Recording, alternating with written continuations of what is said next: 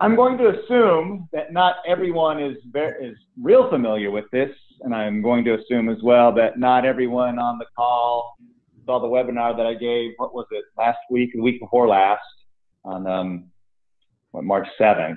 Gave a webinar about the state uh, an update on the state plane coordinate system. So I'm going to take a little bit of time at the beginning, even though, as you can see, I don't even have a title slide, but I'll take some time at the beginning to go through some of that, some of the concepts and things like that. But I'm going to go sort of fast. Um, I think probably the biggest benefit here will be able to have some sort of dialogue, um, some sort of discussion about things, any questions you have, comments, concerns, that sort of thing. And with that, let me just get started.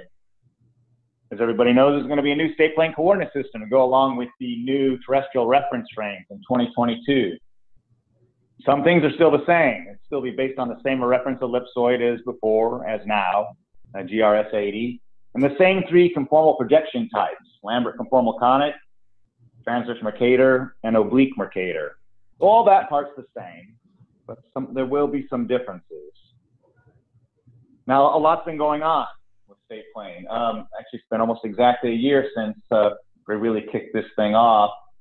Uh, March 6th of last year, uh, put out a report about the history uh, and status of State Plane and, and, a little bit on its future directions. Then gave webinars on March 8th and April 12th, and now uh, this year on March 7th. Um, launched some new uh, State Plane web pages on March 19th of last year. Then we did we put together a draft policy and procedures and published those as well, along with a Federal Register notice on April 18th. Those are out for several months, and people had till August 31st to give their comments. And Idaho was one of the states that gave some comments.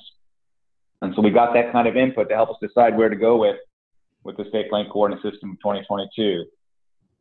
And we started making some preliminary design maps as well in October, October 11th for the first ones we put out last year. I'm still working on that, adding to that. In fact, I just made some today for Idaho. And we're in the process of finalizing the policies and procedures. That's going on right now, and uh, March is about over. I still don't have those out yet, but I think they'll be out next week, um, unless they should be out next week. It's essentially done, and we'll have an announcement for that. Now, there's some deadlines that go along with this state plane business in terms of people getting what they want for their states. Um, and I know this might get kind of confusing sometimes. So it's basically basically a two-step. Well, it can be a one-step or a two-step process. Um, uh, if you, if you make a request of us to do something for you, make a request that NGS makes some designs for you. Say you want something particular for Idaho's statewide zone, which we will design, but maybe you want something particular and I've, I've gotten that kind of feedback from Idaho. You have till March 31st of 2019. Oops, that's a that's a typo on there. You know what? I that is so bad. Hang on. Let's make that a year later. Those were December before.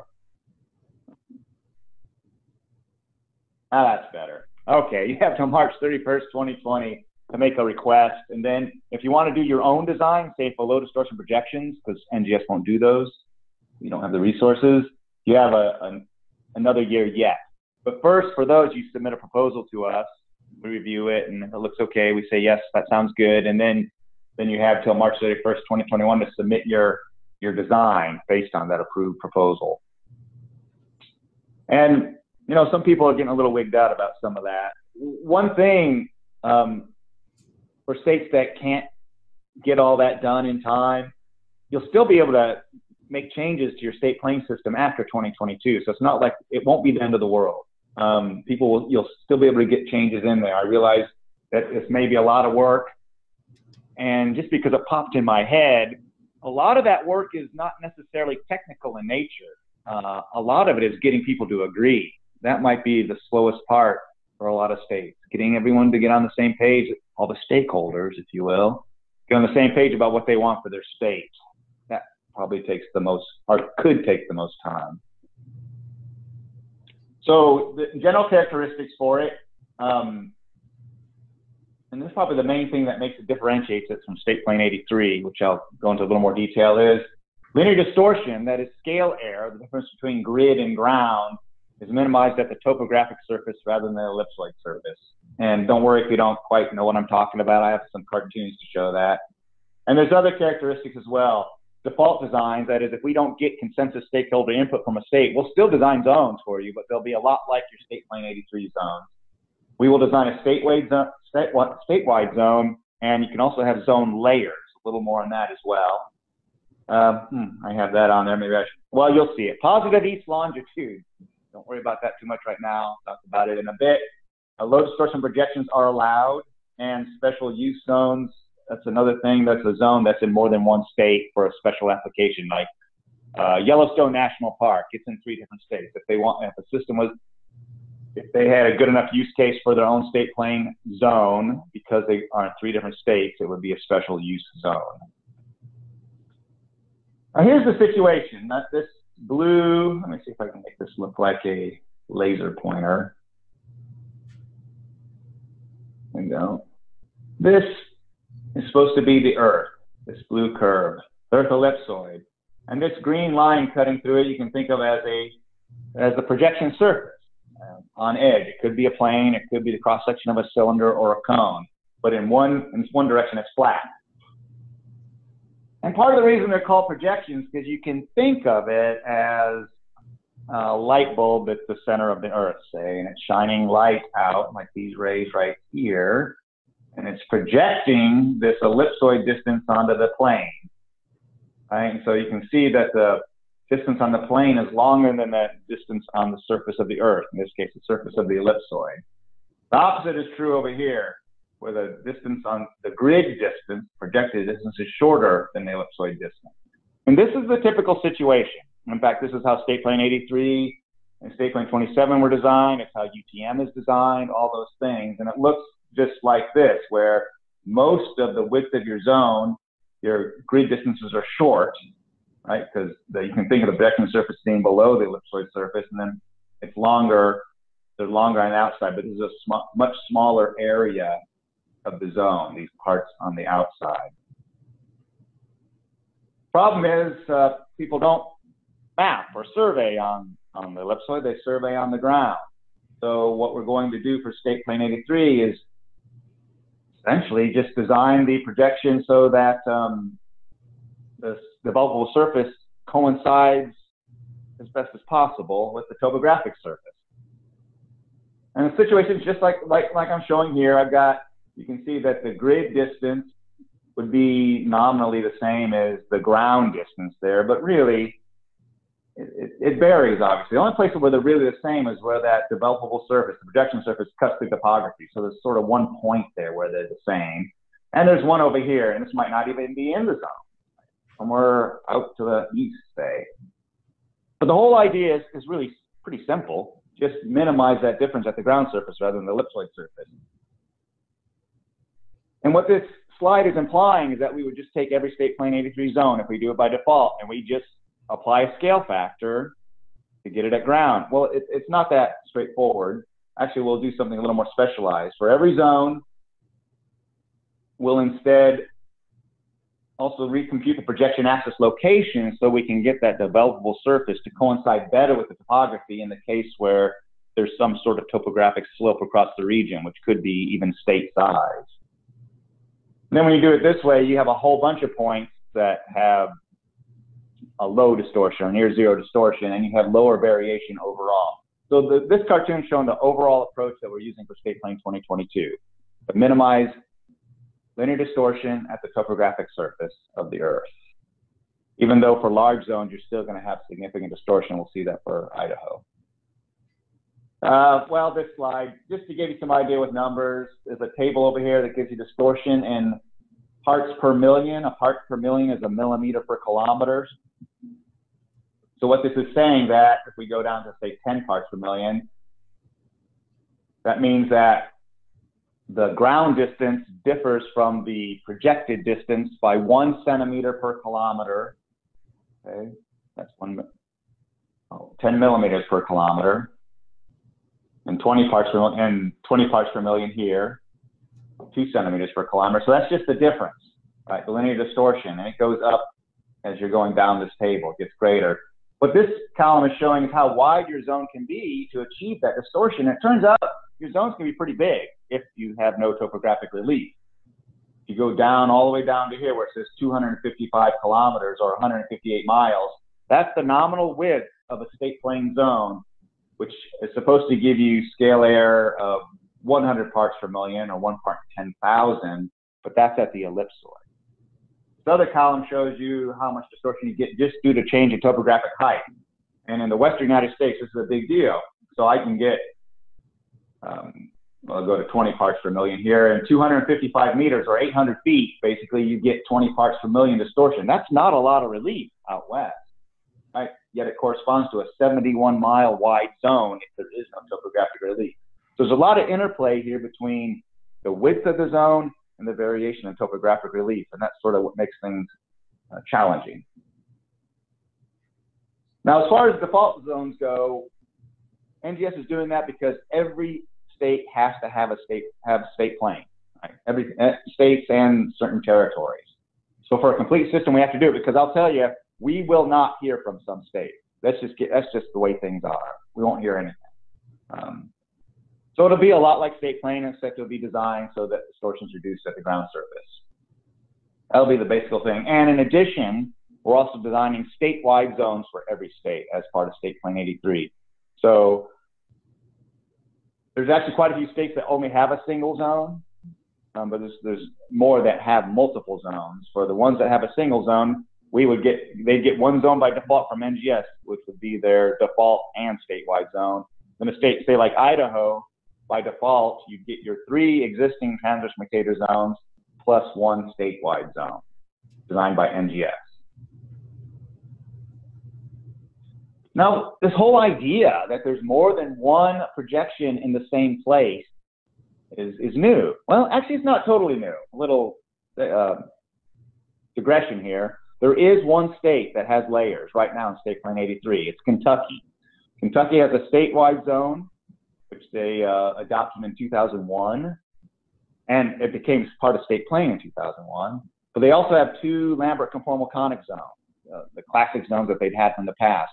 So when you say, um, well, so you can get state plane coordinates for either zone in that state, either layer of zone, statewide zone and or the multiple zones of those two Lambert, the two Lambert zones that they have in Kentucky. So we're doing the same thing, except we're doing it nationwide now instead of just one state. So every state will have a statewide zone. And then in the case of say Idaho, Idaho will also get um, the three zones that they already have by default. Now, Idaho could request something different, and we can talk about that.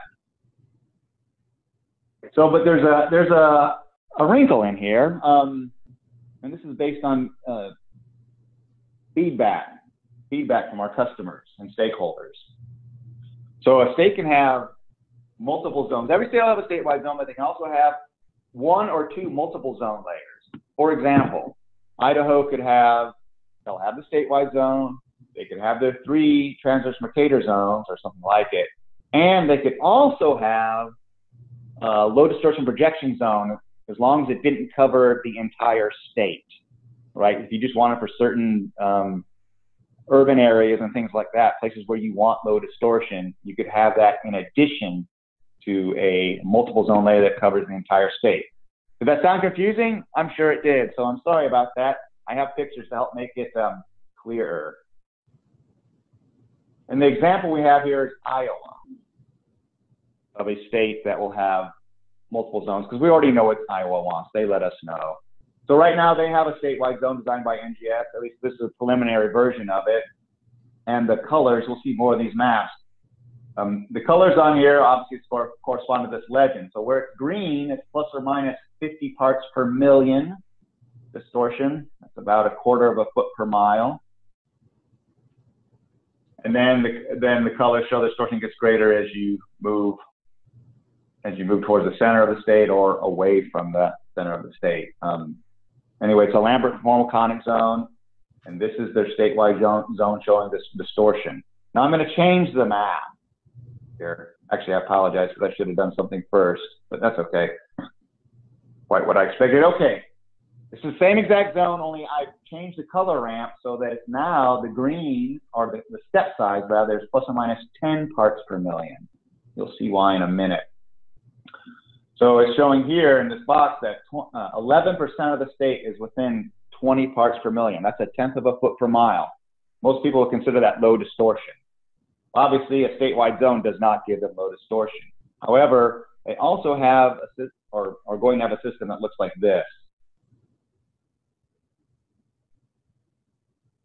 Now I have 14 zones. There's 99 counties and 14 zones for those counties. The boundaries of these zones correspond to the county.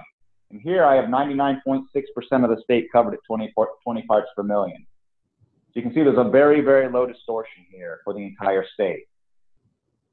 So this is what they want.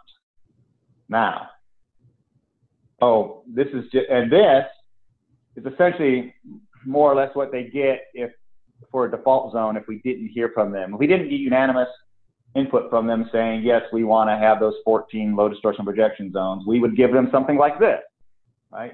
Which is their state plane system as it is now. Two zones, two Lambert zones. Now, hopefully this makes sense. So every state's going to get a statewide zone. That's what I'm showing here. You can think of it as a base layer. Every single state's going to get that. Iowa says, indicated that they want this, a multiple zone layer for the, covering the entire state. Or, there's an or on here, or they could have statewide, multiple statewide zones that are like the state plane zone. They can have one or the other of these two on top They can't have both because it's actually because there's not a very good use case. If I have a state uh, multiple zone layer of two zone two zones here, would it ever even get used if they have this and this? Probably not. So a decision needs to be made by a state. You can't cover the entire state with, with multiple zones with two multiple zone layers. It's got to be one or the other. And to me, that's I that's fine. Right, that seems kind of straightforward. So what is up with this third layer? Let me show you, and this applies more to the Western United States. Um, situation in Alaska. Just like every other state, Alaska is going to get it one gigantic statewide zone, even if it's ridiculous as it may seem. Get that kind of coverage. In addition, they could get a an intermediate layer, call it a, a default layer of the state of the existing state plane zones. There's 10 of them, right? And they can get that like shown on here. I've got both. I got a statewide zone and a multiple zone layer that covers the entire state. But they could also have a set of low distortion projections shown on here where they don't overlap each other and they just cover parts of the state. This is very, actually, this is what they have right now using internally. They have about, I think, 47 zones covering the state in various places where they need it, but they don't need low distortion projections everywhere. Um, they just need them in some places. So this is a valid setup for states to have three layers. Again, they can only have that third layer if it is discontinuous coverage. And the only reason we're doing that, allowing that really is to accommodate mountainous western states because it doesn't make sense for them to have low distortion projections everywhere. They can't. The country's not like Iowa. So I hope that makes sense. I know people got confused on that before. Now, real quickly, we'll get into the Idaho stuff here in just the next slide. Um, I just want to tell you about how we design the zones at NGS. We established something called a linear distortion design criterion in these discrete steps of parts per million 20, 50, 100, whatever. Um, and then the criterion you use must satisfy all of the following criteria. At least 90% of the population is within that criterion. 75% of all cities and towns, regardless of population, and 50, 50% of the entire zone area. So how it works is you choose the lowest design criterion that meets all three of those conditions. So as far as NGS goes, we will design zones for a minimum dis distortion design criterion of 50 parts per million. So for example, Idaho could say, hey, NGS, could you redesign our zones at 50 parts per million? And we would do that. You might end up with four or five zones instead of three. I'm not sure. We'd have to look at that. Um, and the maximum is 400 parts per million. That doesn't really matter much. Now, in some cases, what we design would be actually less than 50 parts per million. It depends on how things break out. And obviously, very small states like Delaware, they get low distortion just by default because they're so small. And states that want less than 50 parts per million zones, they want these low distortion projection zones, they need to design those themselves if the criterion is less than 50 parts per million. I hope that makes sense. Now, Idaho, beautiful Idaho. Um, right now, this is a, a, map I just made today of a preliminary design for the a default design for Idaho West Zone, transverse Mercator zone. It's just been tweaked to reduce distortion at the topographic surface. And oh, you see the sneaky thing I did there. Look, I have positive east longitude. Isn't that terrible? Um, you can bug me about that afterwards. So we're apparently going to go down that path. People can, well, you can still interchange between what the west longitudes and east longitudes, but I think that's going to be the default. Um, so that's why I'm showing on here. Anyway, for this design, the design criterion is 75 parts per million. And that's chosen because that's the lowest of the, of the standard increments, which is specified, that achieves the criteria I talked before about before. Here I have 96% of population, 86% of cities and towns, and 54% of the entire zone are within 75 parts per million. As far as the map goes, the color ramp is the green is showing plus or minus 50 parts per million. But you get the general idea. You can see that the plus or minus 50, and then it's still greenish on either side of that to get you to plus or minus 200. But you can see it's going through some of the more populated areas like Boise, and includes even Coeur d'Alene, stuff like that. Um, but and there's a whole process to doing this, and one of them is to minimize the range of distortion in the zone. The range here is the difference between the maximum and the minimum. It's 449 parts per million for this zone. And the other thing we look at is population and uh, distribution of uh, cities, like I said. For example, on this design, the weighted mean distortion, wait, distortion weighted by population is plus five parts per million. So it's very close to zero on here. So again, this is what we do by default or something similar. I mean, this is just a preliminary design. Now I'm going to show you what existing state plane looks like there. Okay, this is what it is right now in Idaho. If you didn't notice, I'm going to click back real quick. Watch that um, central meridian move. So we have it, it moved to the east. Okay. So it's further to the east for state plane 83. And you can see that the range of distortion increased. So you remember that cartoon I showed before where I moved the projection axis to make it better coincide with topography? Well, that's what happened here. Topography is generally a little bit lower to the west in this zone. And so that's all that is. Um, as far as performance goes, you can see it's really poor for population and area and all that, but that's expected, right? State Plane 83 was designed with respect to the ellipsoid, and um, Idaho's high, high elevation, so it's not a real big surprise that this would be the case. So that's it for a default one. I want to talk more about the statewide zone. Um, I, oh yeah, this is the existing one. You guys already have one, right? I, Idaho, what do you call it? Um, ITM 83, Idaho Transverse Mercator, going with the NAD 83. This is its, this is how it looks right now. It has, first of all, has a scale. That's actually what it is. You can see from it. It's just UTM with a different central meridian, right? Because the UTM is at 117. You can't see it here, maybe in 111, the two standard UTM. Oh, here's 111. 111 and 117. And this one's just in the middle. So basically, it's picked UTM and sh shifted it so that it's centered on the state and use that. Because that scale factor is UTM scale. And it does pretty well. 88, 81% of the population, 70% cities and towns, 47% of area for a 400 parts per million distortion design criterion, which makes this is not a design though. This is an existing system. That's why it's not meeting the criteria. If we instead do a design using a transverse Mercator, it would look like this. Here, this design's been done. This is how it came up, the 40, came up with the 40, 400 parts per million, which by the way does correspond to UTM. Here we got essentially 100% of the population, 98% of cities and towns, and 85% of the entire zone. Just with a transverse Mercator, with a slightly different 15 arc minutes, slightly different central meridian location and a somewhat different scale. The scale has been increased a bit from 0.9996 to 0.99987. You can see that um, it performs better in terms of at the topographic surface, which we expect, because the previous one really was, even if it was unintentional, it was really meant for distortion at the ellipsoid. So this is a, this might be one that NGS just does automatically, right, if we didn't get any input. But we did get some input. Um, and what I'm showing up here is the distortion for one that was proposed by, I guess it's the group running this meeting, was that Geodetic Control Technical Working Group.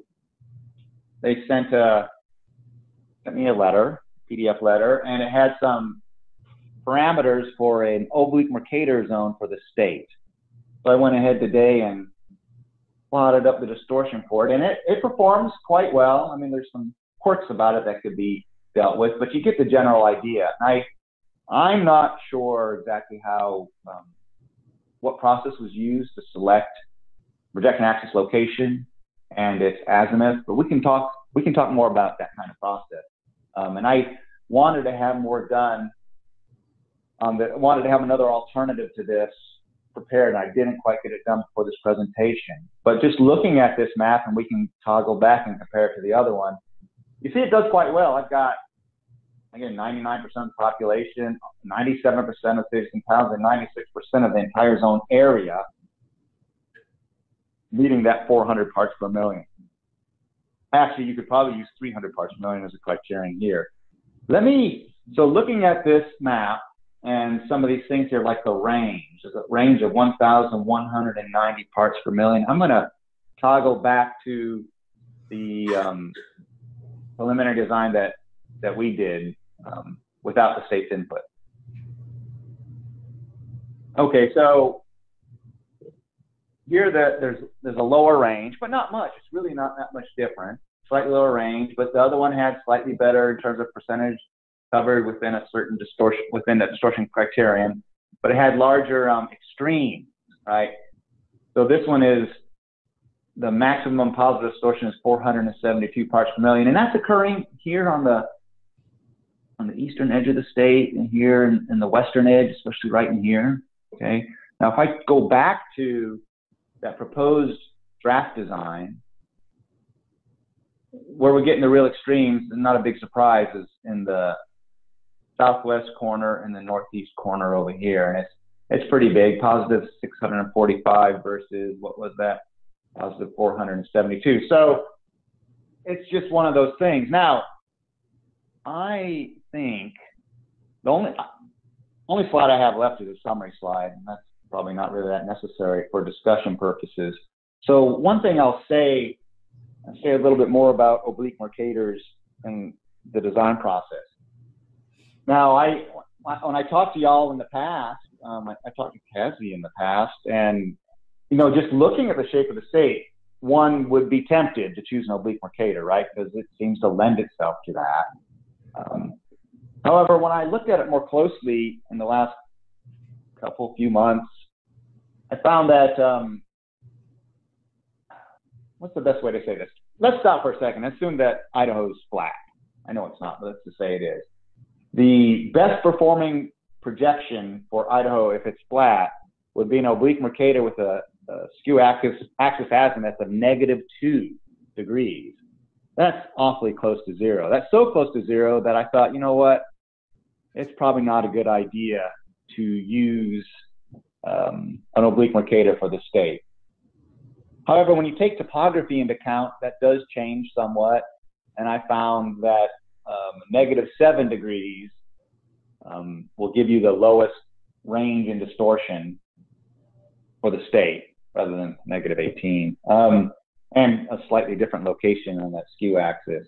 So just to give you an idea, so what we're looking at here in terms of adopting a coordinate system, a statewide coordinate system for Idaho is uh, sort of a balance between what's the best we could achieve, right? I mean, generally want that, but then there's a point where you go to a more complex projection like oblique Mercator and the and, and improved performance might not quite justify using that more complex projection. Now, computers do all this, so it sort, sort of doesn't matter. But nonetheless, it, it seems like it might not be quite worth it. But it's right on that boundary, right? Um, now, is there's one other thing to that that popped into my head. Uh, well, I guess there's a few. But as far as the skew azimuth for oblique Mercators uh, in the policy and procedures, the draft ones aren't out yet. You have to be more than um, five degrees off of the cardinal on that azimuth. So you can't uh, you can't have a minus two degree skew azimuth on an oblique Mercator because it's just too close to a transverse a regular transverse Mercator. Um, there's no point really in doing that. However, as I said, well, negative 18 is fine, um, and negative seven seemed to give the best performance overall. So it, it is justifiable for the state, but still it's something to think about. And maybe that's something we can talk about right now. I think um, the last thing I'll do, because it's here, is just I'll quickly summarize everything and then let's have a conversation. Um, so here it's, it's State Plane 2022 characteristics that are different from State Plane 83. This is a reminder of stuff. And some of it might not be a reminder. Minimize distortion of the topo surface, not the ellipsoid. NGS will design statewide and default zones. You can have up to three zone layers, and that one of those can include, or that include LDP layer. I'll just say it that way. Special use zones, where I talked about a little bit. Um, one thing I have, haven't said is coordinate changes. The projected coordinates must differ by at least 10,000 meters from state plane 83. Uh, positive east longitudes. I, I, don't feel that strongly about that. Um, anyway, and stakeholders can request their and propose their preferences. But consensus input is required. And this is an important point here. And, and I wish I'd made it more clearly before in my webinars. There's a list of stakeholder groups in the policy and procedures. It doesn't mean every state, every group has to be represented because not all those groups even exist in some states or they're unresponsive. What it means is that every stakeholder that does contact us has to agree. Hopefully, they all get together first and then contact us and not contact us separately. That's awkward. Um, but not everyone does. So, if only one stakeholder contacts us, they carry the day. There's no competition. We would just do, um, well, assuming it, it, met policy and procedures, we would do what they ask. Um, so as far as that goes, we don't need to hear from every single stakeholder group, but the ones we do hear from must agree. If they don't agree, we go to the default. Or if we don't hear from anyone, we go to the default.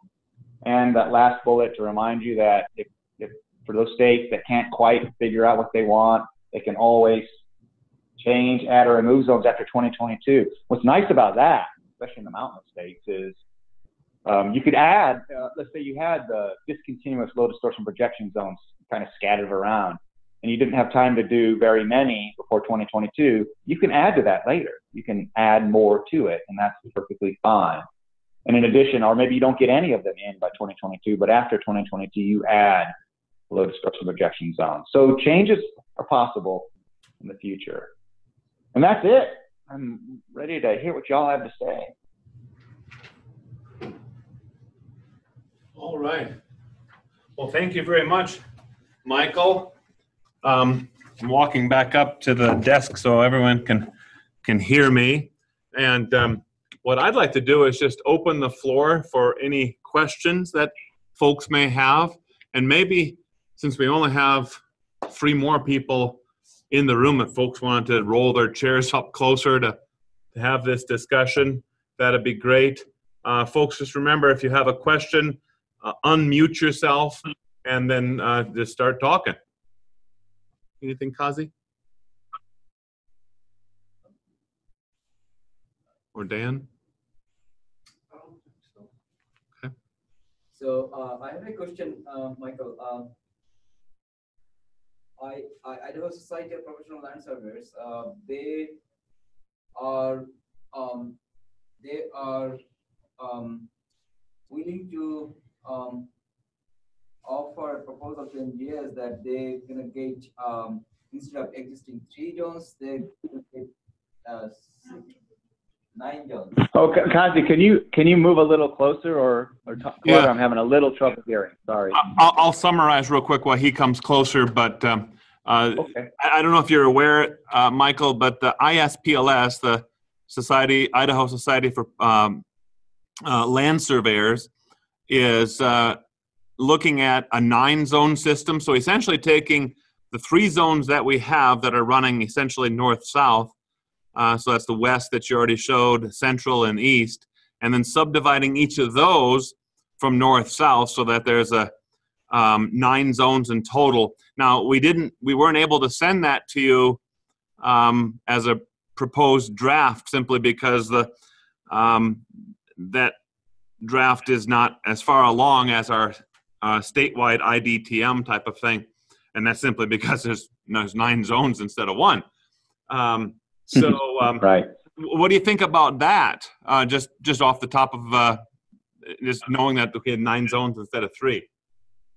Yeah, and it seems like that sounds familiar. You or someone must have, Kazi might have said it to me before, even. So, well, I think um, that's fine. That that's enough zones that it certainly um, would fall in the low distortion projection realm. It'd be less than 50 parts per million um, in terms of a design criterion from that small. So it would be on the state to design them. And um, I'm gathering from what you just said that that would be nine zones that completely cover the state, right? Everywhere, everything would be covered. So that would be your two layers, right? You would have a Yep. statewide zone of some type, and you'd have a multiple zone, a nine zone, multiple zone um, layer. And you still could get, if you wanted even lower distortion in certain special areas, you could have discontinuous zones scattered around here and there, um, depending on what you want. But yeah, that would be fine. And and you guys aren't aren't behind on our end, right? We haven't even released the policy and procedures, and um, I didn't say it in here, but there's forms. So we're trying to make it as easy as possible for every, the customers and for us. There's a really simple form for when you make your um, request or proposal. And if it's just a request, that's all it takes. Like, let's say your statewide zone, you give me a request, you fill out the form, I have a copy and of we get the request. It was from the And web. then, uh, then, yeah, and those will be out, like I said, I'm hoping next week. So, and then, or you can take that form and make it a proposal and say, this is what we want to do. And it's real simple. You just say, we want, we're going to do nine zones. You don't need to know anything else, really. Um, and we say, okay, sounds fine. And then you have a whole, you'd have till whatever I said, March 31st, 2021 to get that design into us for us to check it and all that. So that, that would work, um, if that all made sense. Yeah. Again, so- assuming all the stakeholders agree. So, um, Stuart, I I know Stuart's on the line. I don't know if uh, Tom Ruby's on the line. I know Tom has been kind of leading the charge for ISPLS on this nine zone system. But Stuart, you're tapped into this very well. Is there anything you wanted to add to this uh, about the nine zone versus three zone?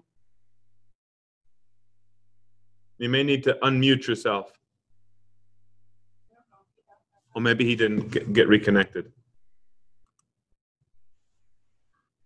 I don't know. See- And so are those nine zones going to be um, by county boundary or some other kind Yeah, of? by county, county boundary, yes. Well, there's there's quite a few more counties in the state than than just that, but they do follow county boundaries. We're not uh, Yep, the proposal does not split a county. In fact, we do have a GIS layer of it, and if the folks at ISPLS are okay with that, I'll go ahead and forward to you the link to the web map uh, that that shows this nine zone system, and just of course understand that it's entirely draft at this point. But I'm sure we'd all like to get your input on that.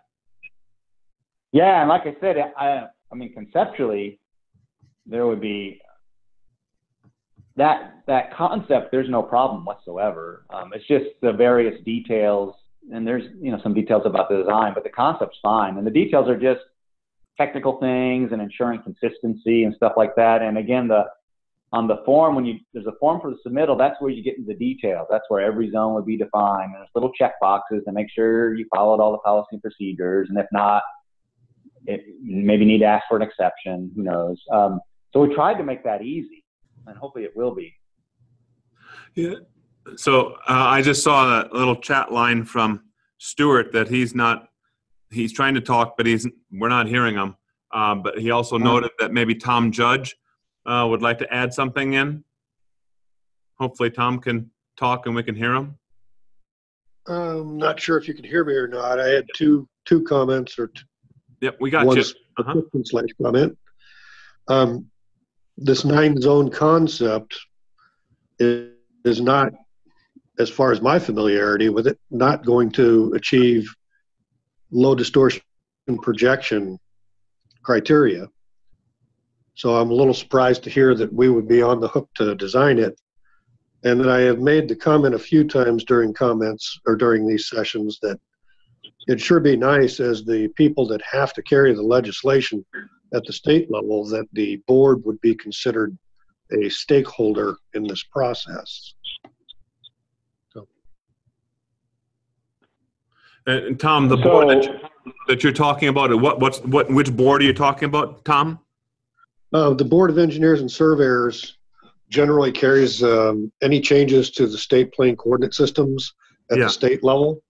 They generally run that as an agency bill, carry that legislation. And that's fine, actually. And so every state's a little different on that, um, Tom. So as far as I'm, as far as NGS is concerned, if the state board has that role, then certainly they would, they'd be a great stakeholder. In fact, it could be the kind of thing where they provide an umbrella for other stakeholders as well, which I think is better.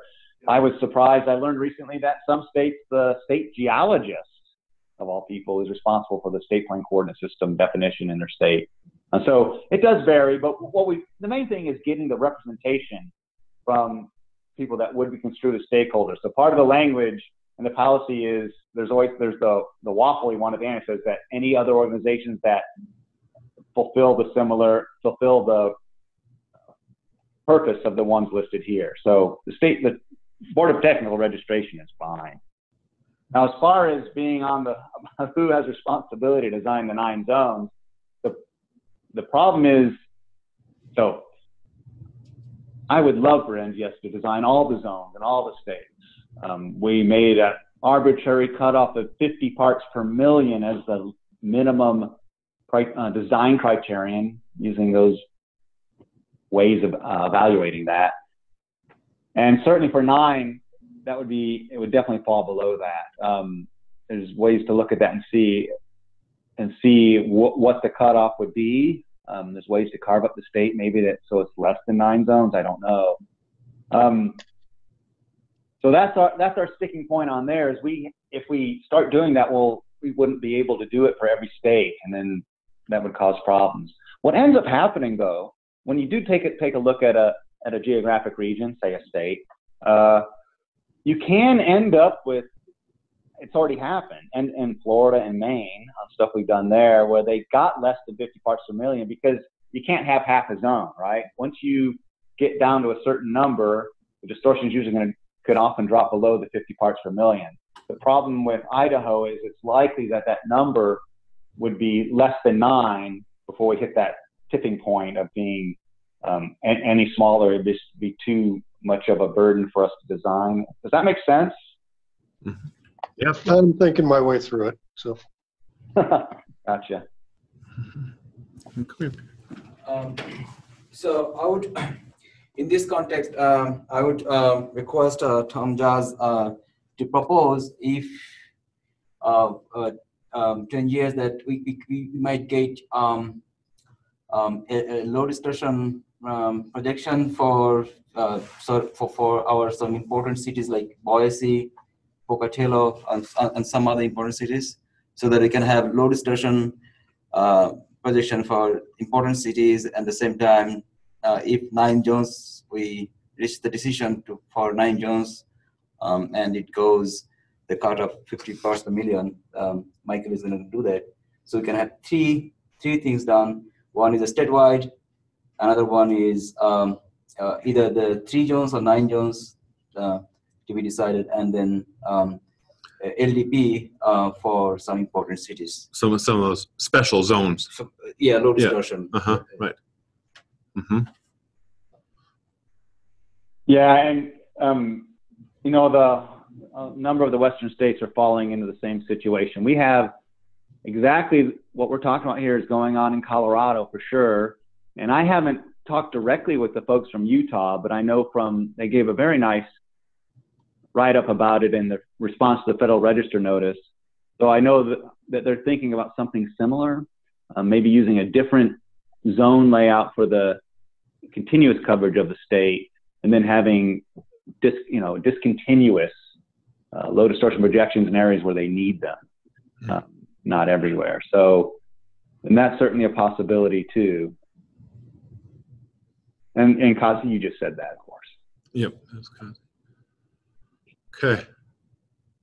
Well, so, I mean, obviously, we're not going to finalize anything today, um, but this is all very, very good uh, information that'll help carry us forward as we, um, you know, proceed and try to coordinate all these um, these activities and get the letter of consensus in prior to the uh, March of next year uh, deadline.